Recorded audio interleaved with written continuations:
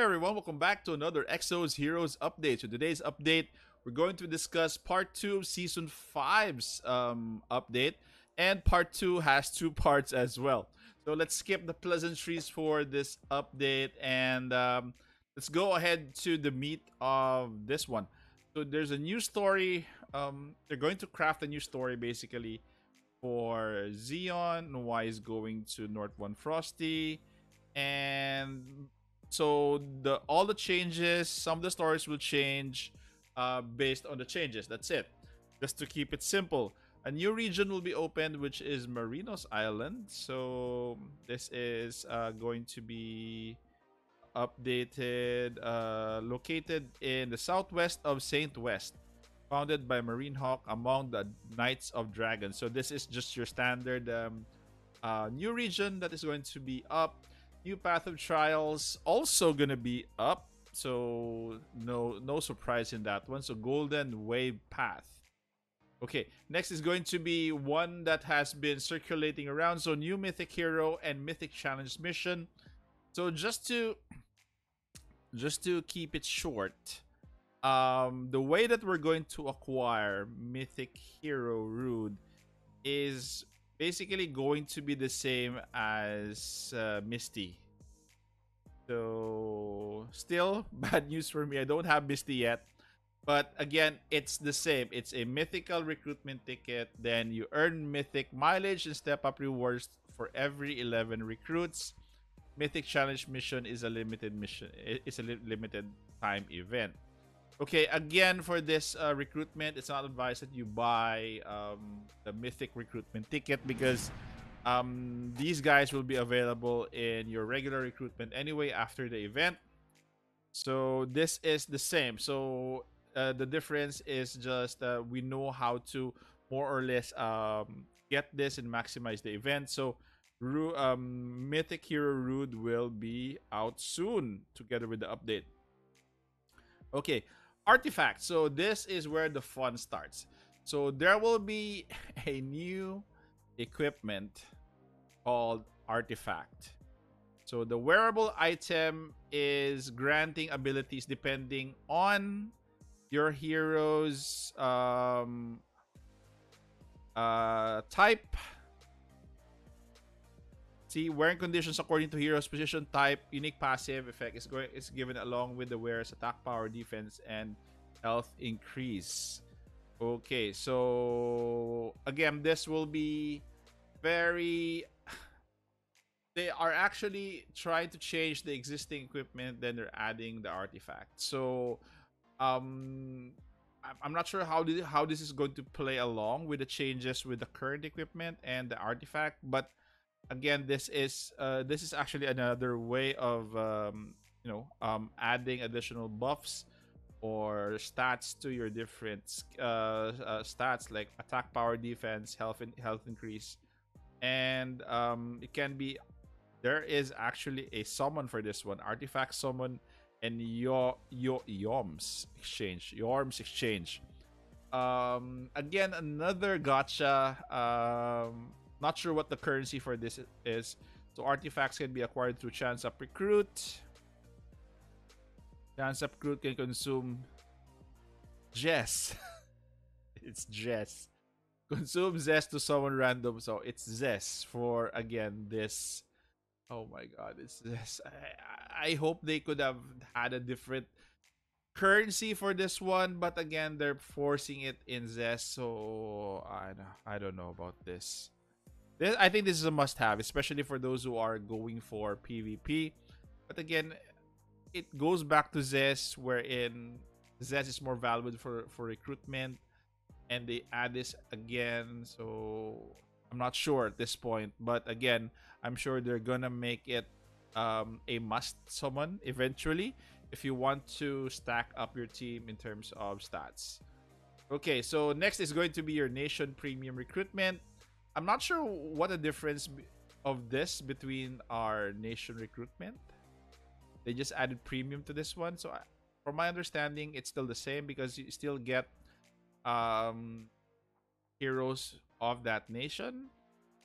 So I don't know why they're changing it this time. to a different, you know, different category, which is Nation Premium Recruitment, but uh, allows you to recruit three heroes with Fate Core for each country.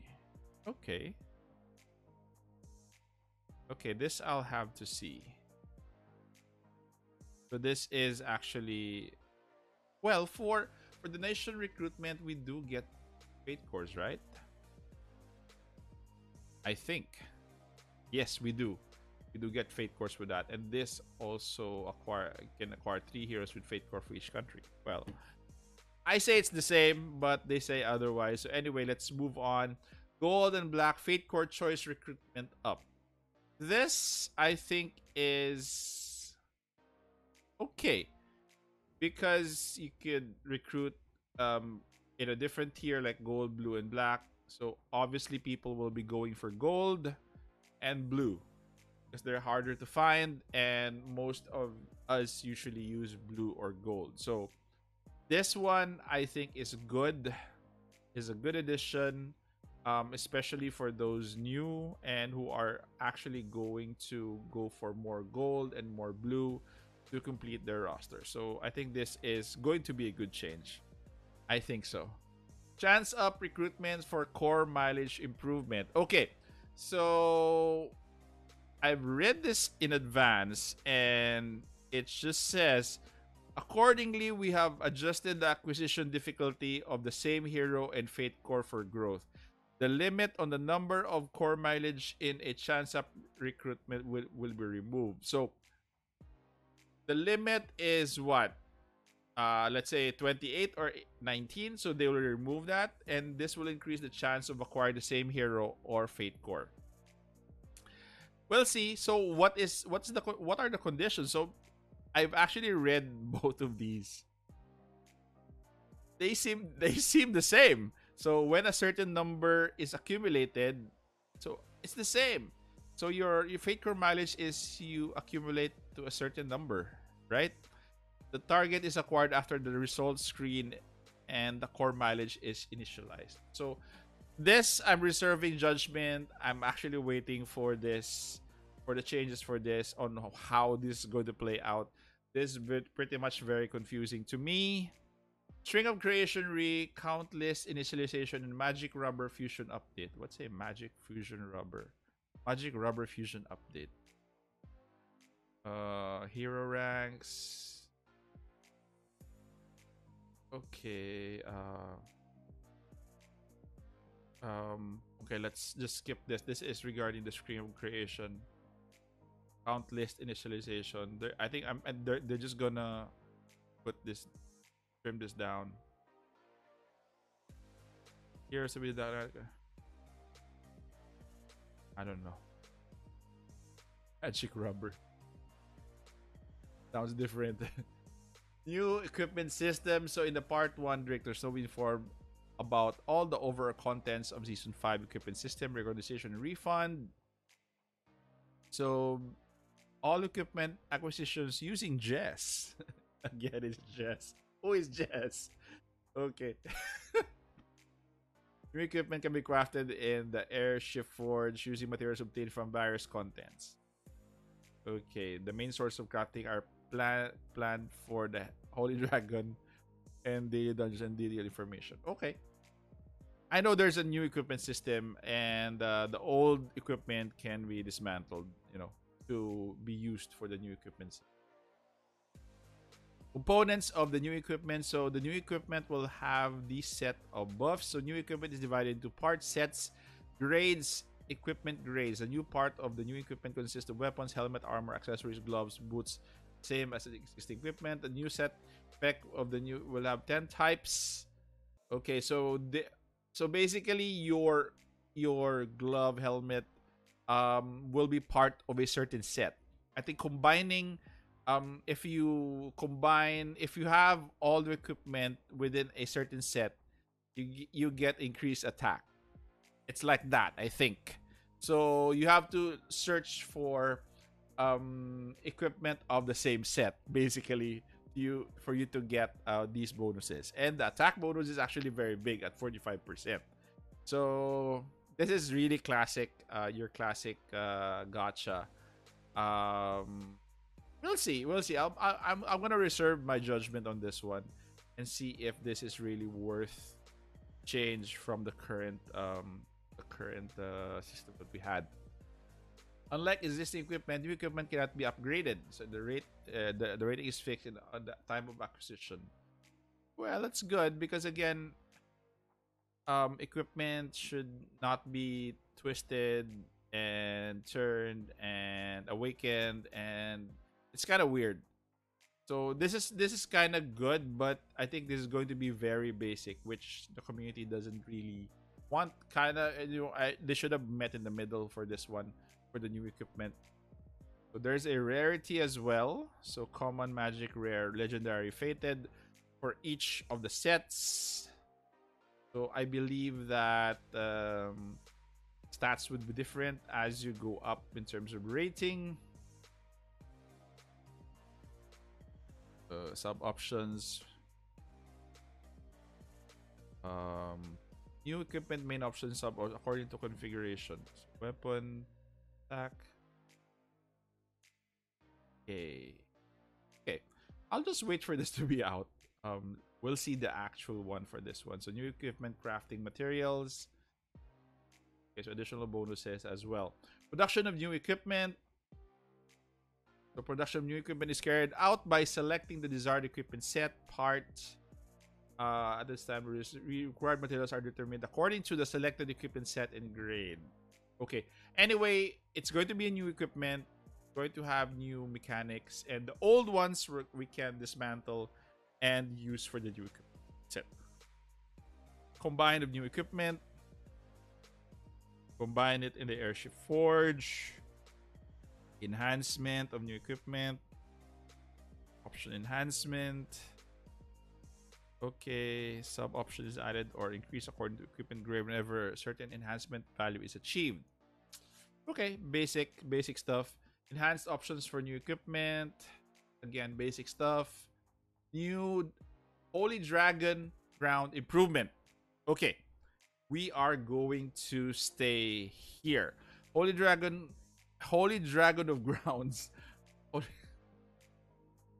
Holy Dragon of Grounds has been reorganized into content that allows you to acquire new equipment. Okay, so you can acquire equipment here, Dragon Relics, depending on the damage to the dragon. Okay. So Basically, the faces for the dragon is going to be changed as well. Uh, fire, nature, frost, should be a gimmick, social formation, again with the dungeon. Five difficulty levels as well. Entry, uh, entry current has been changed to non-vacant, allowing unlimited progress per day. And the continuous battle formation has been added. All tickets to the whole Dragon Round tickets will be refunded as Levistone. Okay, this is, I think, a good change at this point because I've been itching for a new dungeon and this will suffice for now. Content opening conditions have been significantly lowered to allow for more speedy playing and growth at the start of the adventure. Combined Daily Dungeon. The Daily Dungeon was the basic growth support of Exo You can grow here, acquire equipment and gold. Uh, Though the role of the daily dungeons is maintained in season 5 as shown below. We want to integrate day of the week dungeons for each feature of the content. Sanctum before after Unity, Unity Sanctum. Okay. So this is just going to be merged, I think. And the feature is still the same. Total number of dungeons for each day of the week will be reduced the number of entry good from seven to three. Nice.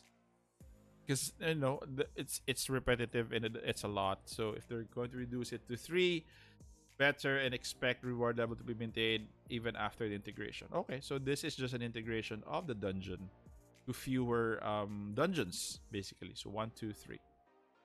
Season five growth guide. So can Frisia. This is Frisia. When the spirit pressed, Silver Fate Core is going to be arriving, and um, we're going to get Red Fate Core Dorka. So, oh my god, I've been waiting for the gold faker for ages, and I'm sure you are all waiting for the gold fate or fate core Dorka. This is just something that uh, will just whet our, our our appetite for uh, while we wait for the real gold fate core Dorka. So again, I'm I'm also excited for this one. So kinda inching my way back into you know the excitement for Exos Heroes. Airship theme. Um, so there will be new airship themes, new backgrounds, gyro functions, visuals. Okay, uh, gyro gyro sensor, convenience improvements. Manage here, journal, core memory, open, condition change.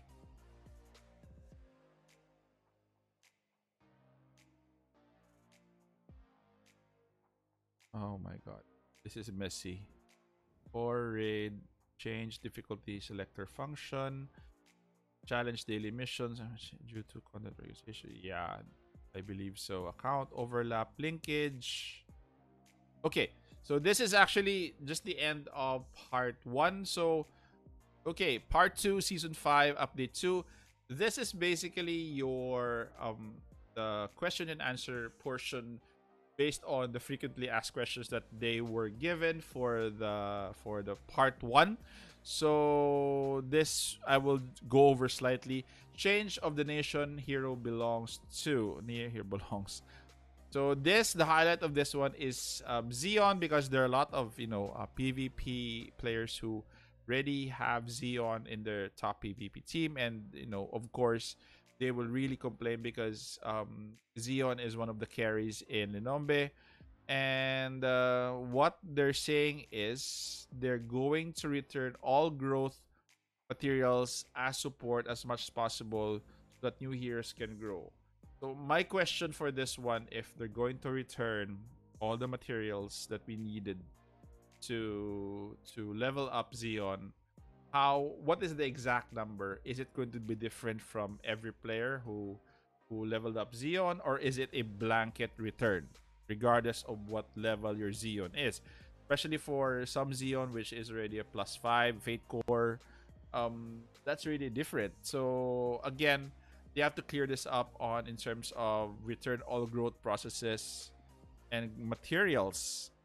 So what will we what will this be based on? Okay. Hit and dodge uh, displayed in hero stats. So while improving the display of the hero stats on the man- hero management screen.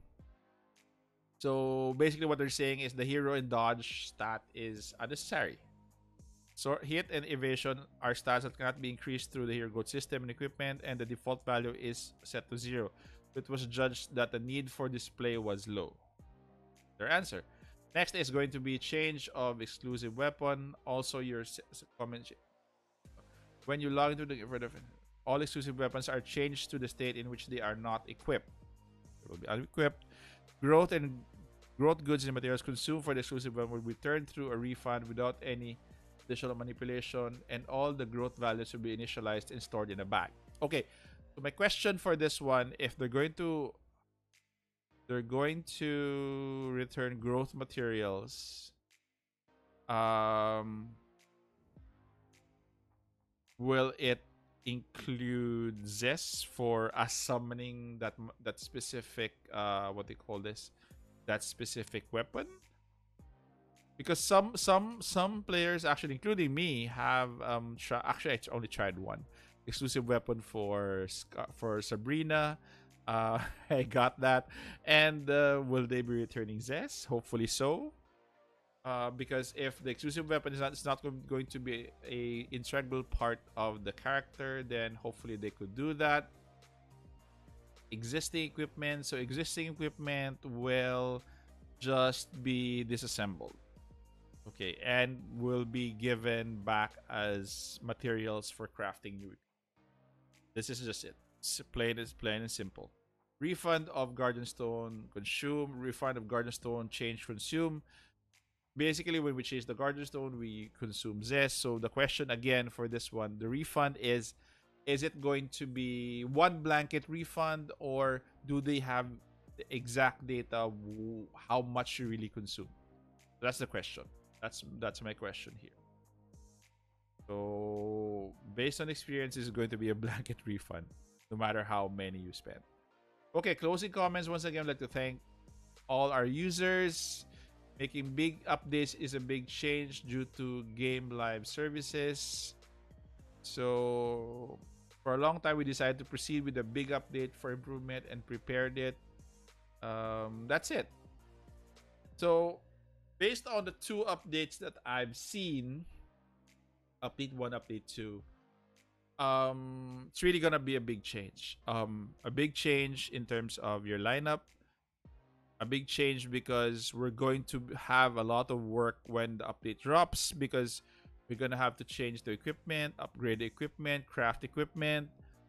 You know, a lot of things will happen and a lot of things will be have to done. And once the dust settles, who will be number one in PvP again? So this is really a reset. Um, I'm not sure how this will impact the current top players in PvP. I assume they will still be the top, but generally there there will be winners and losers in this update. I'm sure. So I hope that the winners outweigh the losers because again, if most of the community are losers in this update, oh my god, um, this will really be a big problem. So that's it. Th- those are my thoughts for this update. This is actually a make or break update for them. Um, either the players will love this this way or they will hate it this way. There's not really going to be a middle ground for this one.